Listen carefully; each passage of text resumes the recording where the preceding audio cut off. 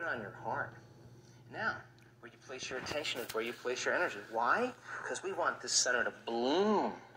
1,400, 1,300 different chemicals that restore and regenerate the body.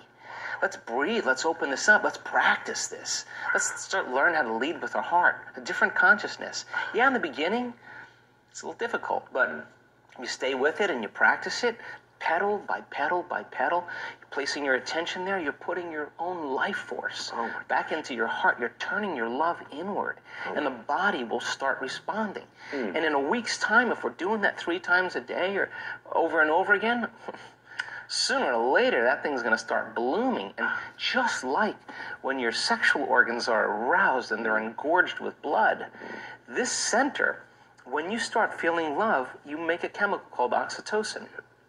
Oxytocin signals nitric oxide.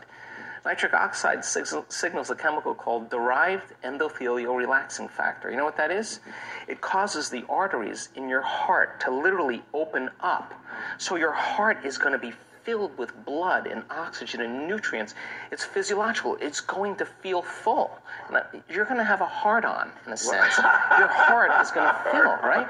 And when that happens, you experience a level of love that passes all understanding. You, your cup runneth over. I mean, it is, oh. and people are in, they're sobbing because they realize that this, this center finally, like a child,